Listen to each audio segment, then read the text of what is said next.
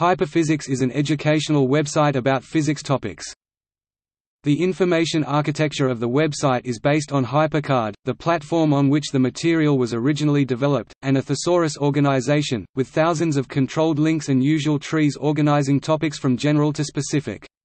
It also exploits concept maps to facilitate smooth navigation. Hyperphysics is hosted by Georgia State University and authored by Georgia State faculty member Dr. Rod Nave. Various teaching and education facilitators make use of hyperphysics material through projects and organizations, and also publishers which use links.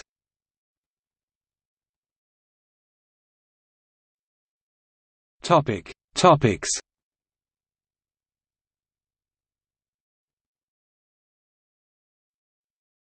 Topic: Physics. Various areas of physics are accessible through broad categories. Astrophysics. Condensed matter. Electricity and magnetism. Heat and thermodynamics. Light and vision. Mechanics. Nuclear physics. Quantum physics. Relativity. Sound and hearing Topic: Mathematics. Related applied mathematics are also covered.